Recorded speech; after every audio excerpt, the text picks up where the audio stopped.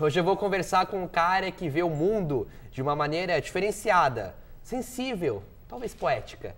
Ele é criador do canal O Mundo Que Vejo, do YouTube. Quem está aqui hoje é o Alan Vieira. Tá começando o cafezinho a dois agora.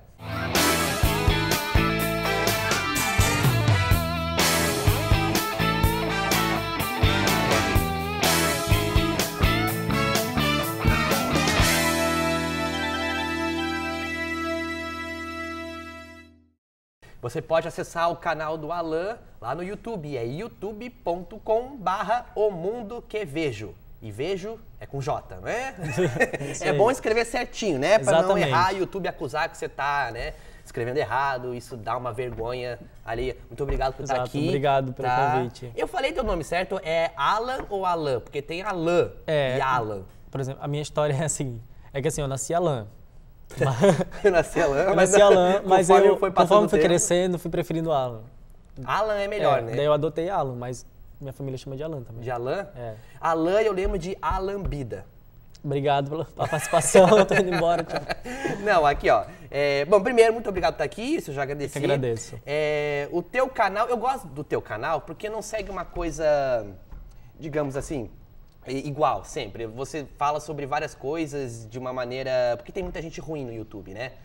Uh, eu vejo assim, tem muita. A galera tá criando muito canal e investindo nisso, só que o conteúdo e a qualidade desse material já é, é, é bem duvidoso. Né? Porque as pessoas elas querem é, ser famosas, elas uhum. querem ser youtubers de tipo vender livro, escrever, escrever biografias, fazer teatro e tal. E não é bem assim. O porquê que tu criou o teu canal do YouTube? Eu comecei, a, a minha ideia inicial era fazer algo diferente, assim, do que já, do que já existia, né? Porque não queria ser, como tu falou, mais um, assim. Então a minha ideia era tratar os assuntos do cotidiano, o que eu via, da minha forma de ver, assim mesmo. Então eu quis fazer de uma forma diferente é, do que já estava sendo muito sobrecarregado lá, porque tinha muita coisa de, de, tal, percu de tal forma, assim. Tipo vlog? É, eu queria fugir da ideia do vlog, mas e queria trazer um pouco do, do meu trabalho. Eu trabalho com fotografia, então eu queria trazer um pouco da fotografia para o YouTube. Então, é que você se formou em fotografia aqui na Univale, Isso, aqui na né? Univale. E aí eu comecei a... Assim, durante a Univale, durante a, a faculdade, eu tive aula de fotografia para cinema. E aí lá eu comecei a ter o primeiro contato com vídeos, assim. E foi lá que surgiu a primeira ideia de gravar um vídeo. Mas durante a faculdade eu ficava meio não sabia o que fazer, assim, sabe? E também tinha trabalho da faculdade e tudo mais. E eu fui deixando, fui deixando, e quando eu acabei, eu coloquei de volta a ideia, coloquei no papel e falei, meu, preciso fazer isso, sabe? Tava mas, sentindo que precisava. Mas como é que tu define o, o teu canal? É um canal... Uh, na sinopse lá, tá escrito o quê, digamos assim? Tá, tá escrito que chegou a hora de ver o mundo com outros olhos, ou com, com os meus olhos. E o mundo pode ser tudo. A, o, que tiver ao meu redor, a praia ali perto de casa, uma viagem. Tem então, um que você fez, é um, é um, vídeo muito legal que tu fez com uma senhorinha. Lembra daquele? Ah, minha bisavó. A tua bisavó, é. não foi? Foi um dos primeiros, né? Foi, foi um. Lá pelo quarto vídeo. É bem especial esse vídeo, que foi um presente que eu quis dar pra minha família, assim. Porque a minha bisavó tem 94 anos. E. Ela tá viva? Tá, sim. Ah, sim, viva com saúde. Às vezes, né? E ela. Enfim, ela tem muita história para contar. Eu queria trazer um pouquinho dela pro meu, pro meu canal. Então eu fiz um. Passei um dia com ela, a gente levou ela para passear e fui gravando, assim. E como gravando... é que você fez para explicar para tua é, bisavó? Minha bisavó. Tipo, bisavó, eu vou gravar, eu vou gravar um vídeo pro YouTube. Ela já sabia o que era YouTube? Ela não, não, foi, é, assim, tinha que explicar o que, que a gente estava fazendo. De, de, começo, a ideia era passar o, o, dia com ela, assim, e aí eu ia gravando. E ela tem Alzheimer, então ela ia esquecendo conforme a gente ia fazendo. E tem um momento no vídeo, coloquei nos extras, que ela pergunta o que, que ela está fazendo aqui sentada, porque ela já não lembra. Então, foi meio que gravando. Ela sabia que estava ali, estava participando, mas ela às vezes esquecia, então a gente ia lembrando. E só, ela só ia contando histórias, assim, contando sobre a vida dela. E eu precisava fazer isso, porque é um ela é um presente da nossa família. E é um, tu é bem vídeo. apegado a ela, então? É, ela é minha bisavó par de, pai, par de mãe. Ela é mãe do meu avô. E, e é isso. E o que, que ela contou de interessante, assim?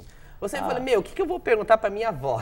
Ah, a gente começou contando como que é, perguntando, né, como que era a vida dela quando ela era mais jovem. Ela conta sobre o que ela fazia para fazer café e e ela conta quando ela nasceu, que ela nasceu numa ilha de Penha. Então todos esses detalhes, por mais que seja, não seja algo muito profundo sobre a vida, mas é algo bonito, assim. É sensível, né? É sensível. A minha ideia com o canal é isso, é tra trazer assuntos e tudo mais de uma forma leve, assim, nada muito, muito pesado, nada muito que a pessoa que vai assistir é, sei lá, se desinteresse durante o vídeo, sabe? Porém, o vídeo que mais bombou, até pela pesquisa que eu fiz, foi o da Det. Foi o da Det, Det Peixeira. Pois é, você já conhecia o Rizzi? Conhecia, ator? eu, a gente é amigo, eu fotografei o encarte do CD dele no ano passado, daí a gente começou a se aproximar, começamos primeiro a falar de trabalho e tudo mais. E aí ele começou com o vlog, quase que ao mesmo tempo, assim, a gente começou junto o, no YouTube. E aí teve um dia que ele precisou de uma ajuda minha para gravar um, um vlog para ele. E aí eu aproveitei, perguntei se ele E topava. gravar com ele deve ser uma loucura, né? Ele, ele, ele realmente escreveu tudo aquilo que ele falou no vídeo? A gente vai assistir o vídeo daqui a pouco? Não, E-. Ou foi tudo improviso? Não, e- foi tudo na hora, assim. Eu, eu falei para ele, eu meio que tive a ideia um dia antes, a ideia do vídeo um dia antes, e falei para ele, vamos seguir mais ou menos assim. Daí eu fui perguntando, e na hora foi, foi rolando, assim. E ele é incrível, porque vai tudo. Ele vai tudo no, no É, improvisaço. Precisa nada, assim, Aí, não mas, teve daí pra, roteiro. mas daí pra, eh, digamos assim, decupar esse material e selecionar, porque o vídeo tem, tem o quê? Cinco Tem minutos, Cinco né? minutos, eu acho. Deve ter sido um trabalho editar, né? Ah, eu queria pôr tudo, assim, né? Tudo que a gente conversou lá, mas. Não, não foi difícil, assim. Eu, eu gosto da parte de edição. Eu me interesso muito, assim, pelo que que eu vou. Do que eu tenho bruto, do que que eu vou trazer pro, pro canal, assim. E foi muito bom, muito bom. Bom, vamos ver então Vamos. o vídeo com a Dete Peixeira, do canal O Mundo Que Vejo, do Alan, ou Alan, né? Você que prefere escolher. Vamos ver então como é que foi esse vídeo. Coloca aí. No vídeo de hoje eu recebo uma convidada muito Oi, especial. Sônia, licença pra mim um bocadinho, estimadinho. É, é um rapazinho aqui com o braço todo pintado. Tô aqui na penha, guria, tá um rebozo. Né, estimadinho? Você é rebozada, é... é.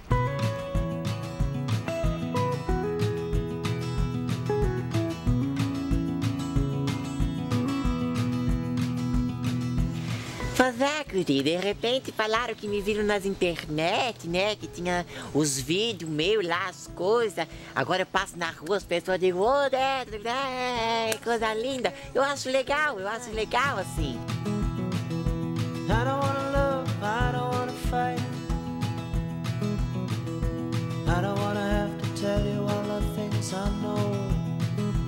O meu nome é Claudete Pereira Ferreira de Souza Flores. Eu tenho 42 anos. Sou mãe de duas filhas, a Jennifer e a Jéssica.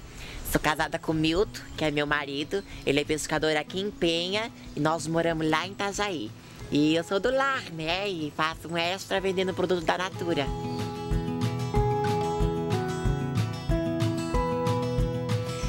Gente vive uma vida simples, entendesse? O meu marido trabalha aqui na pesca, né? Na lida mesmo. Eu vendo os produtos para ajudar ele. E assim vai, né? A gente vai adquirindo as coisinhas pouquinho, eh, dando as coisas boas para nossas filhas. Que a gente se preocupa mesmo é com as nossas filhas, entendesse? Para dar uma educação boa, para não deixar faltar as coisinhas para elas. Nós, nós, nós não ligamos, a gente se preocupa mais é com as meninas.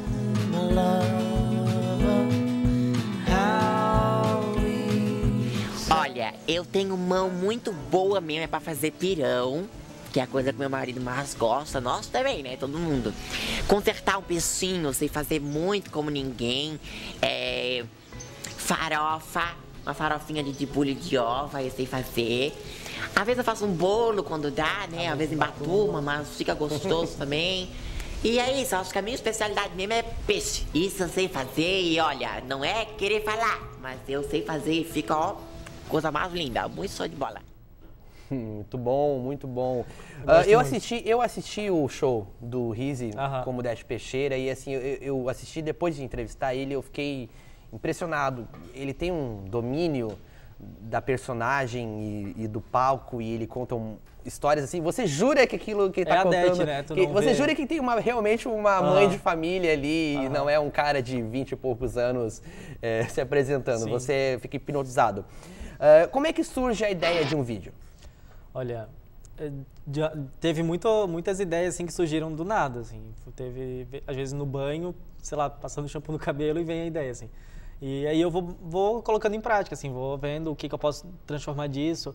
Ou eu tenho agora um vídeo para fazer que começou com uma ideia também assim do nada. Eu fiz um post no Facebook e aí desse post comecei a ter ideias e aí vai surgindo assim. Mas geralmente é do nada assim. E a- no começo eu tinha ideias assim, eu, eu queria fazer tal coisa, mas às vezes não dava tempo, não conseguia. Então no começo eu não tinha mui- muito essa esse A periodicidade, né? é, é, eu não fazia tipo semanal, isso foi meio complicado assim, porque a ideia de ter o canal é que te- tenha sempre um conteúdo para criar esse vínculo com as pessoas, e eu não tinha assim, eu fazia conforme eu ia pensando e fazendo com calma. E aí foi ruim porque eu poderia ter criado já esse contato com o público desde, desde É, então. é, acho que é pra fidelizar o público, Exato, né? Você, tipo, toda semana eu vou lá e vai Aham. ter um vídeo novo, bom ou ruim, vai ter um vídeo novo pra ver. aí, no começo eu não tava assim, eu tava fazendo conforme eu sentia, assim, até pra você não, não ser muita pressão, só que tinha aquela coisa de querer fazer toda semana. E aí chegou em janeiro, eu não consegui mais. Mas eu acho que quando, tipo, você faz toda semana, meio que vira trabalho, né? É, também. vo- talvez você fique meio sobrecarregado. No começo eu tinha que pensar muito assim, e eu, eu acabava não pensando, porque, sabe, tinha que fazer por obrigação, assim. Daí eu fiquei três meses sem criar nada, assim, fiquei parado mesmo, o canal ficou parado. E as pessoas cobravam muito, assim. Muita gente começou, meu, cadê o. Cadê, Vídeo porque não tem mais vídeos e- e... tudo mais. E eu não sabia que tinha muito esse retorno ainda, sabe? E aí eu, quando eu decidi voltar, eu batizei de segunda temporada, porque eu considerei que eu já fiz como uma primeira e agora eu, passei, não, eu vou fazer mesmo pra valer. Agora aí- você decidiu, vou fazer de Agora- 15 em 15 isso, dias. que daí é mais tranquilo pra mim, assim. Pra fazer é, um vídeo semanal, eu levo uma semana mais ou menos pra gravar, editar e tudo mais. Então fica muito corrido, porque eu tenho o trabalho, o meu trabalho com fotografia e tudo mais. Então eu não conseguia. E o período de 15 dias eu consigo pensar no que eu vou fazer, consigo fazer com calma, e editar e tudo mais. Então, pra mim é mais é mais tranquilo fazer assim e eu sei que eu sempre vou conseguir fazer. E quantos inscritos você tem lá já? Ah, não sei de cabeça, mas é dois mil e pouquinho. Ah, é bastante já. É que as pessoas elas ficam muito apegadas a números, né? Eu não, eu só me apego ao número do saque disponível, né? pra Exato. você tirar lá no banco. Esse é o número que a gente tem que se apegar. É, daqui a pouco a gente volta. Você pode acessar o YouTube, o canal do YouTube do Alan é youtube.com/barra o mundo que vejo. Daqui a pouco a gente volta com mais papo e a gente vai ver mais um videozinho que ele fez que ficou muito bacana. Não sai daí.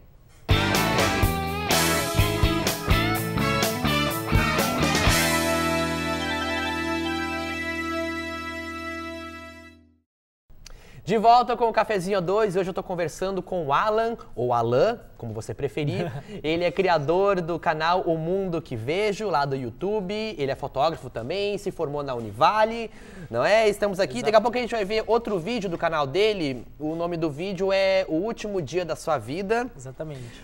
Se, fosse, se hoje fosse o último dia da sua vida, você, você chegou a falar o que você faria no último dia da sua vida no vídeo ou não? Não, não, não consigo nem pensar no que eu faria. socorro. Porque é muito trágico, né? É, não, e a ideia do vídeo é não, que não fosse nada muito pesado, assim, né, para as pessoas que estão participando, porque, né? Bom, se hoje fosse o último dia da minha vida, eu ia comprar coisas que eu não posso pagar. É, mas aí a, Só pra ter o prazer de comprar, a entendeu? fatura ia chegar. A fatura ia família, né? chegar. Ah, Mas daí. É, aí eles Fazer se o quê, virem, né? né? Fazer o quê?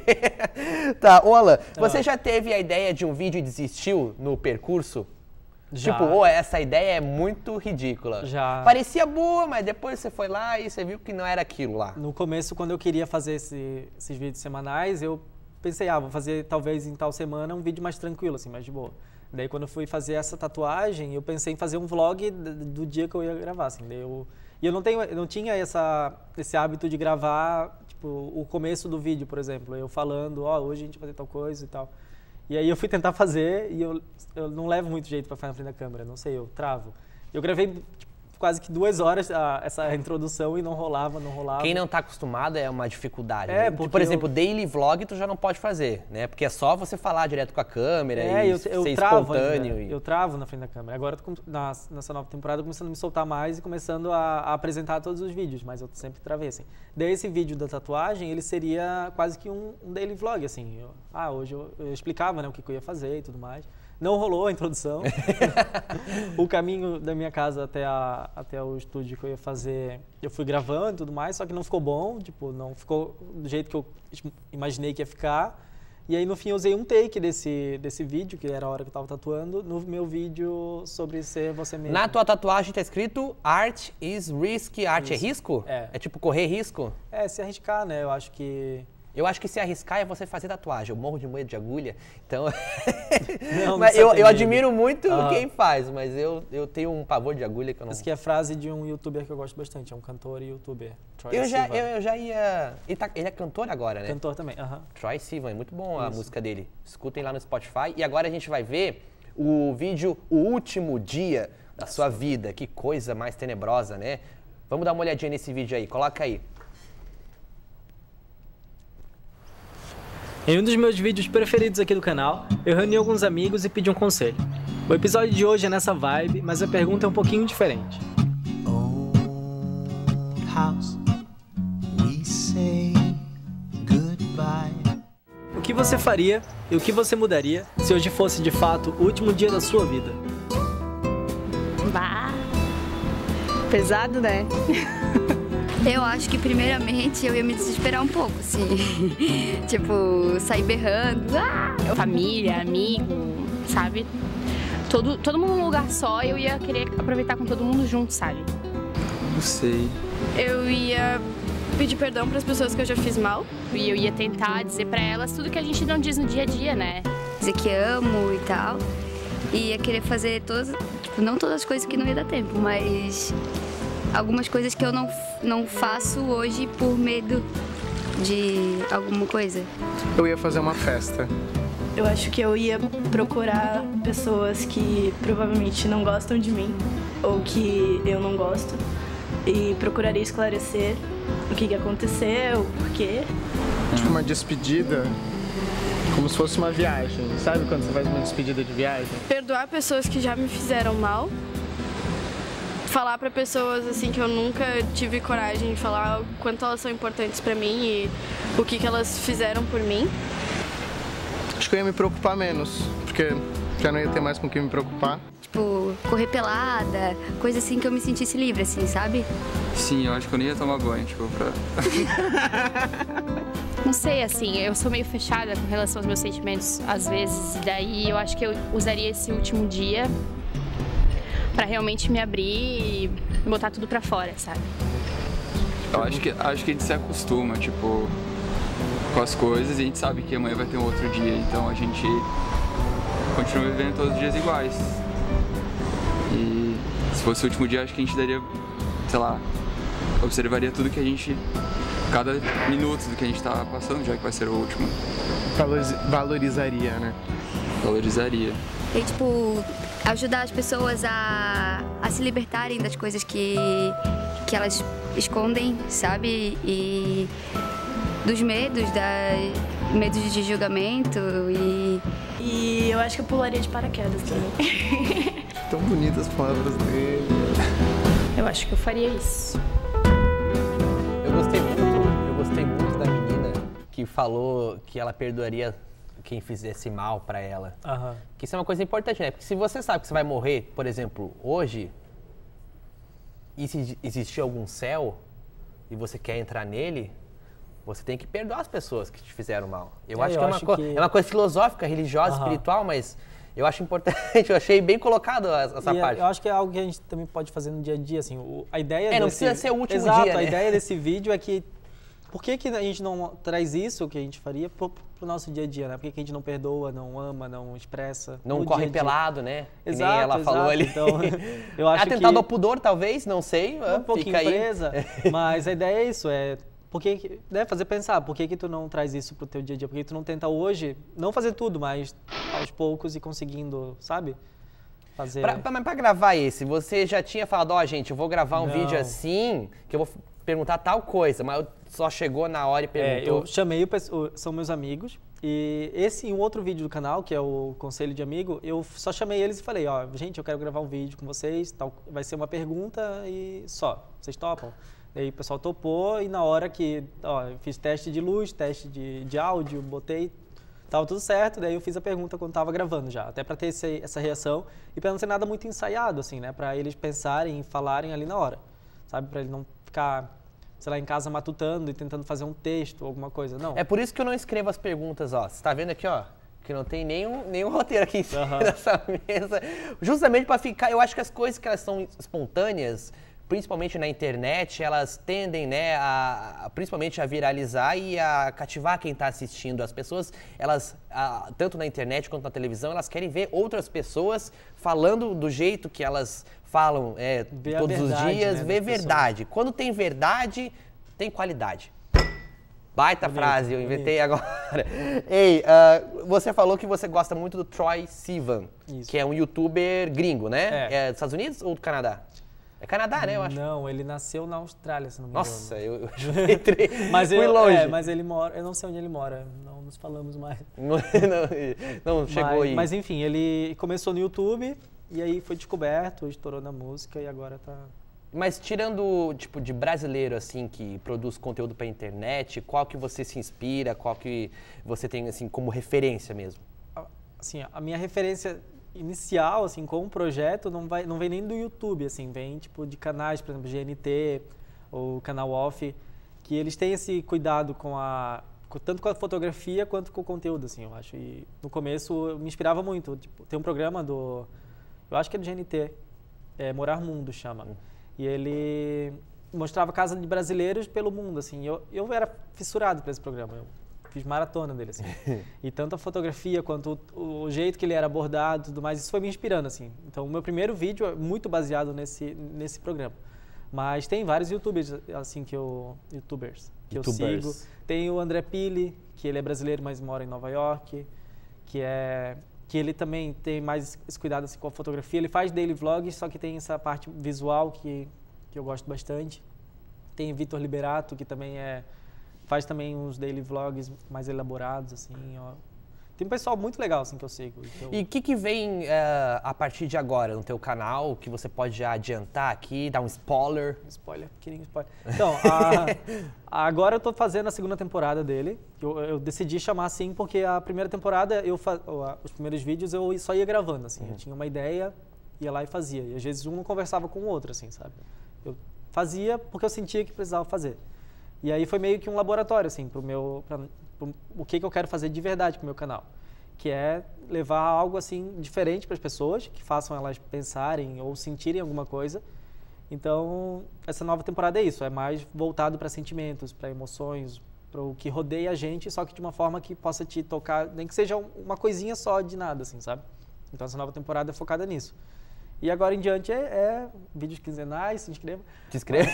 Mas Vamos agora deixar o link aqui na descrição, Mas- senhoras e senhores. mas a ideia é essa, assim, é que seja algo que tu assista e tu sinta vontade de estar E ali reflita, vendo né? E pare pra pensar ou pare pra se inspirar também, sabe?